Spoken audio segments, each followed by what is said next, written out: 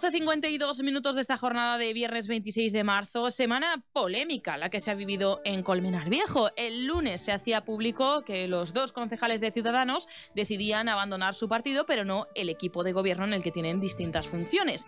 Desde la oposición se apelaba al pacto antitransfugismo, calificándoles de transfugas y pidiendo que saliesen del equipo de gobierno.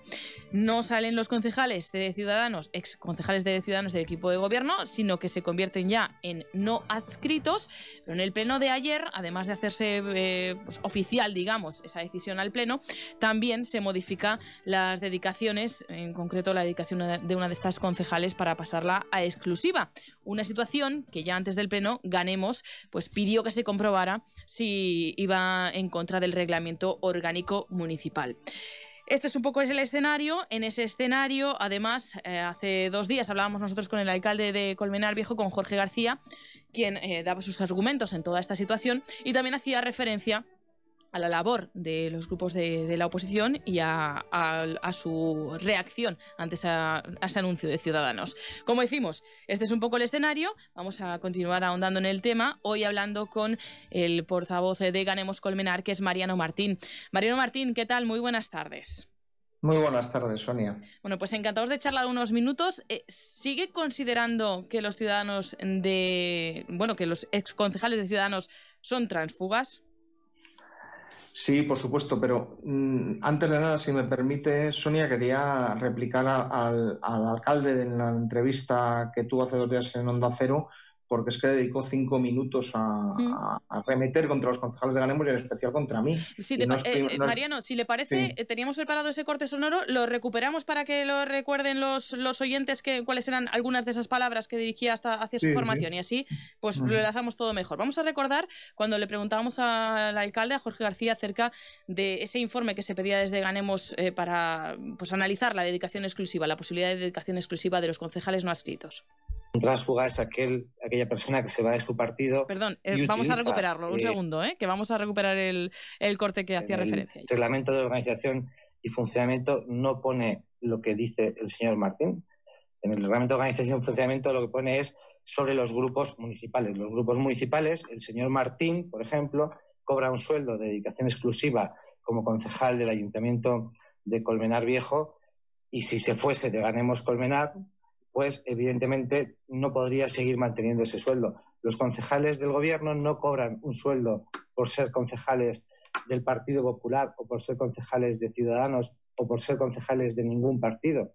Los concejales de gobierno cobran un sueldo por hacer un trabajo de delegación de la alcaldía, es decir, el señor Velasco como concejal de obras, el señor Blázquez como concejal de urbanismo, no los cobran por ser concejales. Esa es la gran diferencia, que aquí hay portavoces de la oposición que cobran un sueldo por ser de un partido político y cuya única función que hacen es, bueno, que deberían hacer es trabajar para el ayuntamiento, lo hacen para su partido, y en el caso del gobierno nosotros no cobramos por hacer política, cobramos por solucionar problemas de los ciudadanos y por gobernar. Eso es lo que no se leen, se leen solo una parte, leen un artículo, pero no leen el capítulo entero.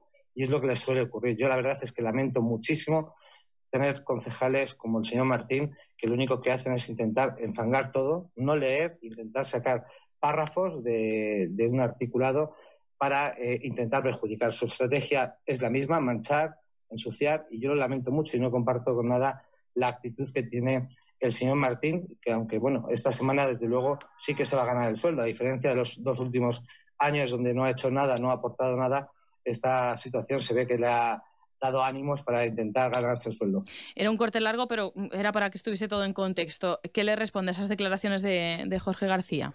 Decirle al señor alcalde que nuestra misión es hacer oposición. Y por un lado, la verdad es que nos dejan poco espacio para la vertiente constructiva de la oposición, porque poco podemos hacer. Cualquier propuesta que parta de Ganemos la votan en contra. Da, da lo mismo, aunque estén de acuerdo. Siempre hay una excusa. O que ya lo están haciendo, o que lo iban a empezar a hacer, o que ya lo tenían pensado hacer, o que si no es competencia municipal, que si no es el momento, no hay manera. Y luego la otra vertiente es la de control y fiscalización. Y aunque no le guste, nosotros tenemos la obligación de controlar al gobierno y de procurar que el alcalde no haga lo que le dé la gana. Y la obligación de denunciar públicamente cuando consideramos que existe una mala gestión. Y yo creo que eso ganemos lo hace bastante bien. Y es más, cuanto menos trabaja la oposición, pues más contento está el alcalde. Y yo lo que veo al alcalde es bastante crispado con Ganemos, lo que quiere decir que estamos trabajando mucho y bien, porque lo único que hace es insultarnos constantemente, pleno tras pleno.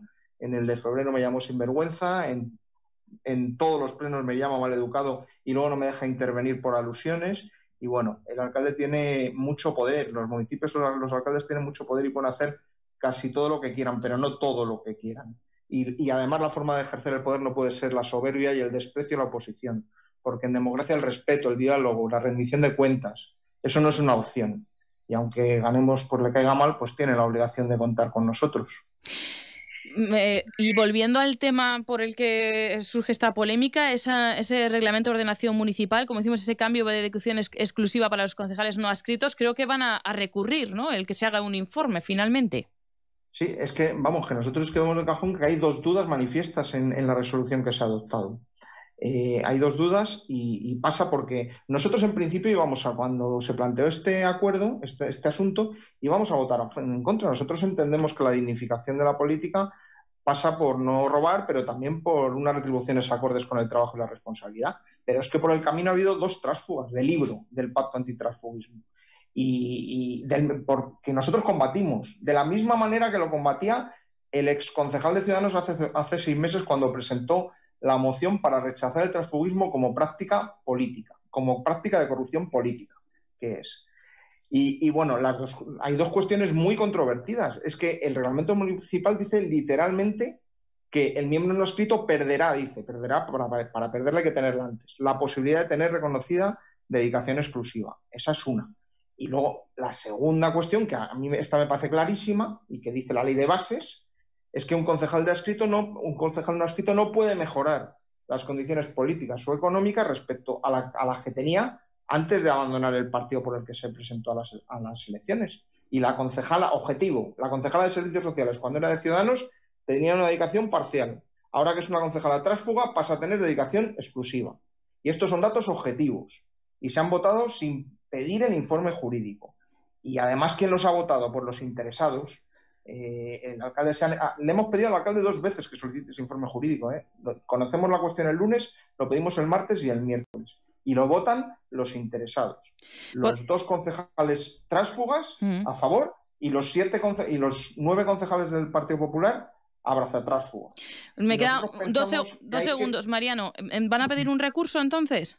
Nosotros vamos a recurrir al acuerdo en reposición para que el Pleno tenga que volver a pronunciarse sobre, esta vez con informe, y además estudiaremos si llevamos el caso a la Fiscalía, porque aquí se ha adoptado una, resolución eh, a sabiendas, no sabemos si justa o injusta, porque al alcalde le ha dado exactamente igual si era justa o injusta. No se ha interesado por la legalidad y ha sido absolutamente negligente al intentar obviar y, el, informe jurídico hmm. y además es que está interesado en beneficiar a esos tránsfugas para asegurarse la estabilidad del gobierno. Mariano Martín, me he quedado sin tiempo directamente, pero eh, seguiremos hablando seguro de este, de este tema. Gracias y hasta pronto. Muchísimas gracias, Sonia.